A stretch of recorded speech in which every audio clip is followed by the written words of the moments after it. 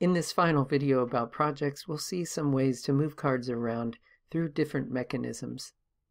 One thing that we haven't talked about is using the board to manage pull requests.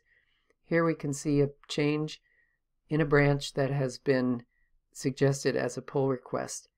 If I create this pull request, I can assign it to the particular project that we're working on.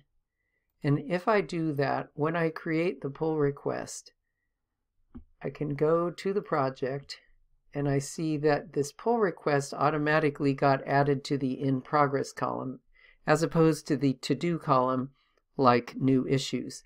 That's assuming that a pull request is something that's already being worked on.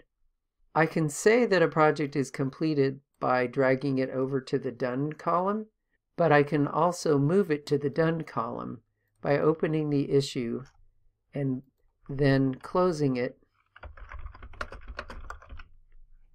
Once I close it, it will automatically then move into the Done column. For pull requests, I can go to the pull request and merge the pull request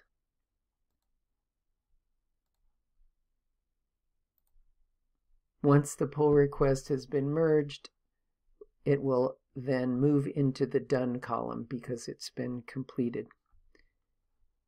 If I'm finished with the entire project, which I'm apparently not here, I can go to the projects list and then click on the dot dot dot and say close.